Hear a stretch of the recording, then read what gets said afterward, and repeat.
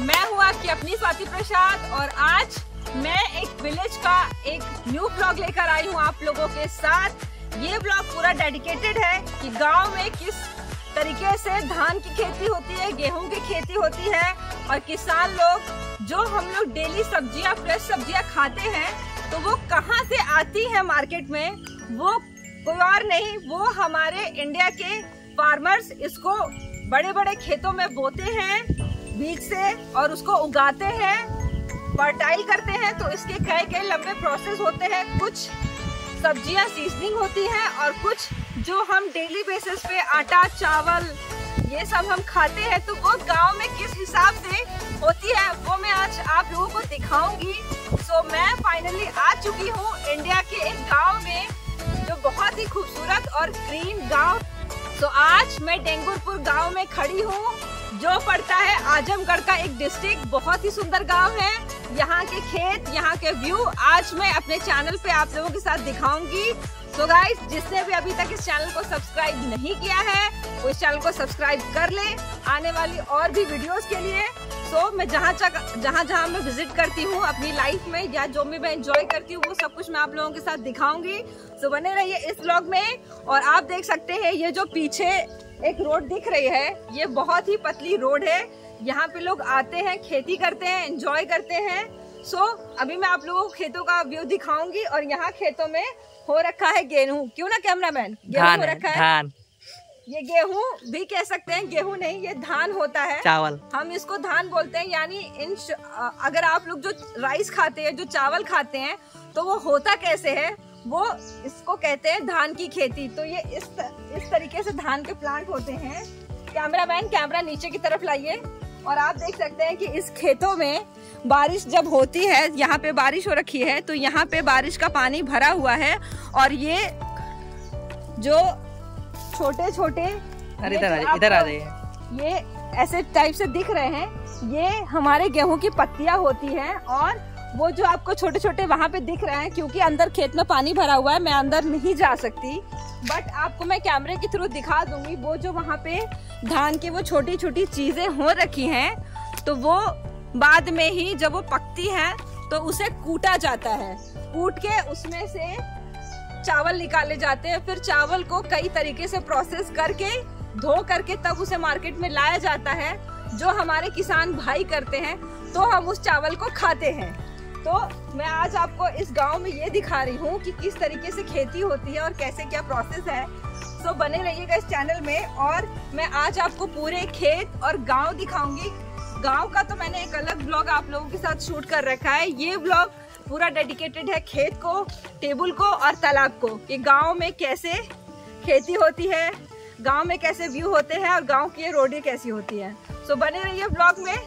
चलते हैं आगे खेतों की तरफ़। मैं आपको दिखाऊँगी जितने भी खेत मुझे दिख रहे हैं या फिर खेती होती है। रास्ता है आगे बता रहा तो आगे बने रहिए ब्लॉग में। आइए मेरे साथ। ये देखिए यहाँ के पेड़, यहाँ की हरियाली, जो आपने शहरों में आप देख नहीं पाएँगे, ये सिर्फ़ आपको गाँव में ही मिलेगी, जो मैं सीरियसली गाइस मैंने पूरा इंडिया विज़िट किया, यहाँ तक कि मैंने नेशनल और इंटरनेशनल ट्रैवलिंग की है बट जो एक सुकून, जो एक रिलैक्सेशन गाँव में आता है वो आपको बड़े बड़े सिटीज़ में नहीं मिलेगा क्योंकि वहाँ पे लोग ज़्यादातर न्यूट्रल रहते हैं, ज़्यादा किसी से वो अटैच नहीं होना चाहते बट गाँव में हमारे ऐसा नहीं होता। गाँव में न जात होती है, न भेदभाव होता है। गाँव में लोग एक दूसरे को मिल बांट के रहते हैं। कोई भी प्रॉब्लम होती है, कोई भी फ़ंक्शन होता है तो वो लोग एक दूसरे के साथ रहते हैं तो इसीलिए कहा जाता है ज्वाइंट फैमिली तो ज्वाइंट फैमिली का कल्चर आजकल सोसाइटी से जा रहा है बट गाँव में ऐसा नहीं है। गाँव में हम आज भी ज्वाइंट कल्चर को फॉलो करते हैं जो हमारे ट्रेडिशन को और हमारे इंडियन कल्चर को और हमारे ट्रेडिशन को नेशनल प्लस इंटरनेशनल लेवल तक लेके जाती है। सो so, आज मैं आपको आज वो खेत दिखाऊँगी। आइए मेरे साथ।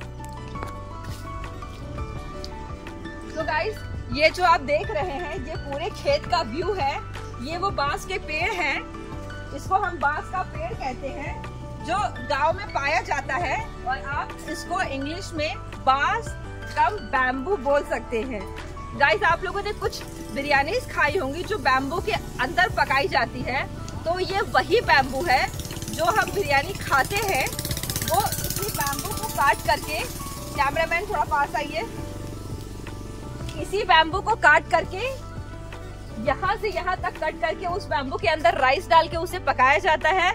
तो हम उस डिश का नाम देते हैं बैम्बू बिरयानी तो ये एक तरीके का वो दोनों तरफ़ से यूज़ किया जाता है। गाँव में इसको काट के इसके छाल से घरे बनाई जाती हैं और इसका बहुत ज़्यादा उपयोग होता है गाँव में। सो अभी तक जिसने भी गाँव के व्यू नहीं देखे हैं, वो मेरे चैनल के थ्रू देख सकते हैं।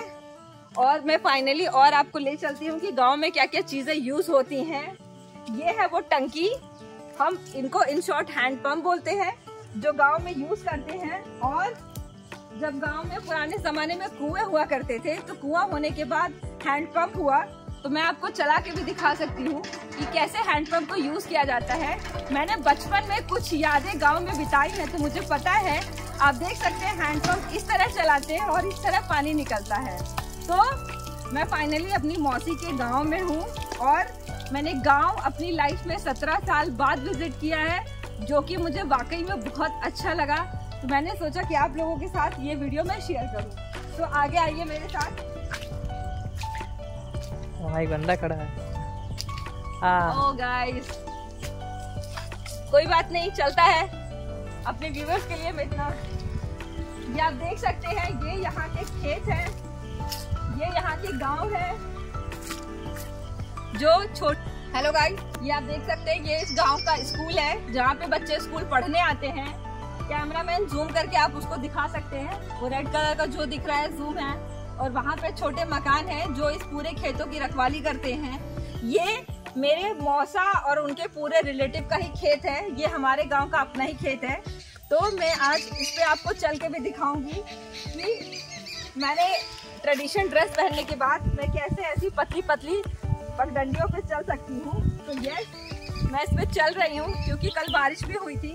लेकिन आप लोगों को दिखाने के लिए कि हाँ खेतों का व्यू कैसा होता है। कैमरामैन आओ मेरे साथ।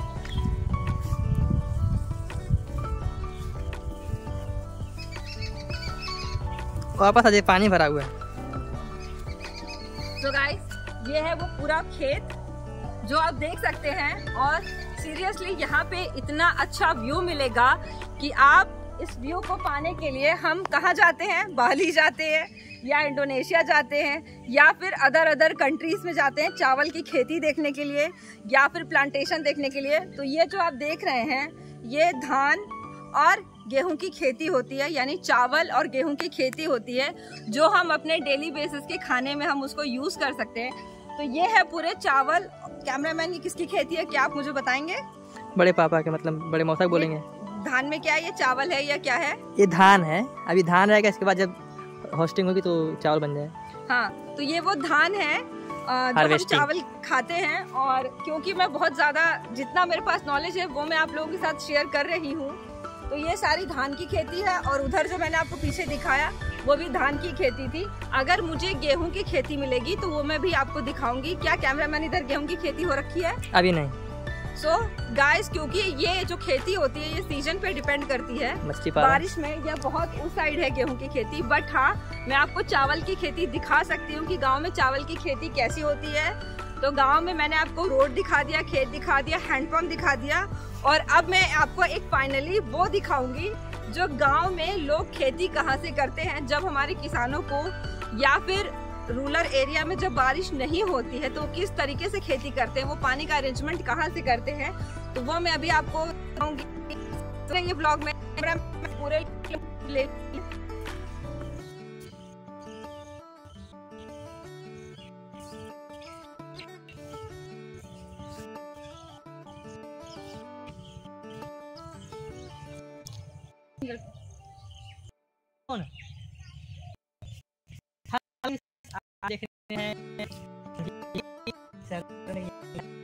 और हम बड़ी दीदी आए कर रहे हैं कि नहीं और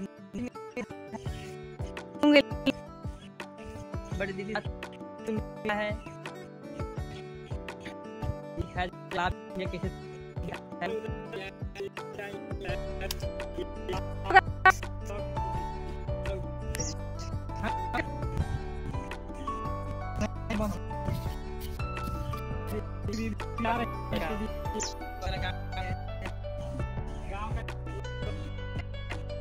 अरे लेते से लो